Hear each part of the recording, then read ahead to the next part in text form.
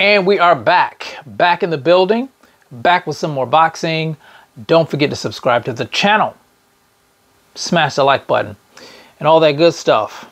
Now, guys, this weekend on Showtime, we have ourselves a banger, an absolute banger, guys. Uh, we have the Aussie, the newly crowned WBO Super Welterweight Champion, Tim Tszyu, will be putting his title on the line against a very game opponent and the WBC interim champion, Brian Mendoza.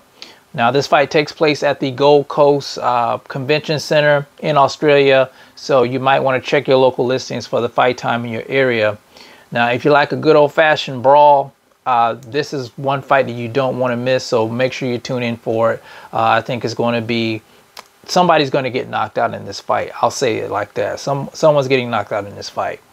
Now let's look at the fighters. Uh, Tim Tszyu, uh, like I said, he is the newly crowned WBO champion at super welterweight. He's 23 and 0 guys, uh, 17 KOs, and uh, he's coming off of two big uh, two big knockout wins.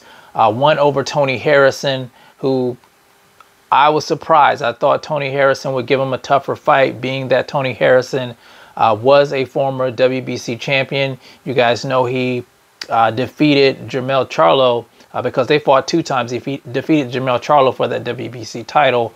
And then in the rematch, of course, he was uh, stopped in that fight. And the second, uh, the last win he had was over Carlos Ocampo, uh, who was actually he fought Errol Spence Jr. back when he was fighting at 147, and he lost that fight in the first round. But then he moved up to 154, and I think he was on a 12 fight winning streak uh, before he ran into Sebastian Fundora. Uh, then he took that L, and so I thought that you know Ocampo, being you know he was he was a pretty good puncher. You know he had really developed his skills.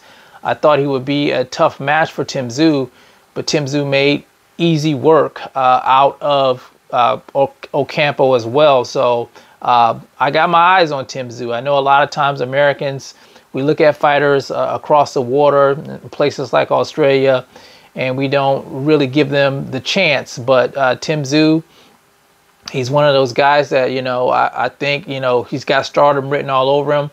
And uh, we're going to see what happens come Saturday night because they're calling him the email champion, of course. Uh, the situation kind of the same with Devin Haney, where he was given the WBC title. Tim Tszyu was elevated to the WBO champion due to the fact that uh, Charlo was stripped of the title the moment he stepped in the ring with Canelo Alvarez a couple of weekends ago uh, because Tim Tszyu had been sitting on the shelf waiting for his opportunity. And then this opportunity falls in Charlo's lap with the Canelo fight. So he took that opportunity, which you, you can't really blame him for. Uh, a, a, big fight on a huge stage uh, with the cash cow. No one's turning that down. So uh, you can't really blame Charlo for that. So Tim Tszyu, like I said, was elevated to the WBO champion. Now, his opponent, uh, Brian Mendoza, I think he's been surprising a lot of people. Uh, he's coming off of two signature wins as well. Uh, one over the former unified champion, uh, Jeison Rosario, the banana, Jeison Rosario. Uh, he stopped Jeison, and he also stopped the towering Inferno, Sebastian Fundora, a guy that I was very interested in. Uh, he seemed like he was on the fast track to becoming uh, superstardom at 154 pounds.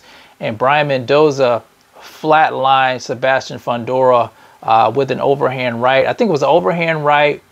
Uh, I think it was a straight left and maybe a right, a left hook. No, a straight right and then a left hook, if I'm not mistaken. I can't remember, but uh, yeah, he flatlined Sebastian Fundora and his stock really rose after that. So I'm expecting this fight to be not very technical. Uh, both of the guys, they're you know they're not technical boxers. Uh, they are brawlers. Uh, they're heavy punchers, and I know a lot of you guys do enjoy that. Uh, people who don't really mesh with the sweet science as much with the fighters that move around the ring. I like it both. I like them both, but uh, you know some people gravitate more towards the brawling uh, than the actual boxing. So we're gonna see what happens. Now, me myself. I think Tim Tszyu will prevail. I, I think his power, uh, I think he has a little bit more pop on his punches than Brian Mendoza, but you can't underestimate Brian Mendoza uh, because, you know, I think he likes that underdog status and uh, I think he does have a bright future as well. But anyway, guys, make sure you tune in uh, Saturday night for this fight. Like I said, this is one you don't want to miss. Uh, I think there's definitely going to be a knockout in this fight. So uh, you guys tell me what you think about it. Uh, who do you have in the fight? Do you think there'll be a knockout? What round do you think the knockout will be in? You guys let me know about that in the comment section. It's the CMB. I'll talk to you guys in the next one. And I'm out. Peace.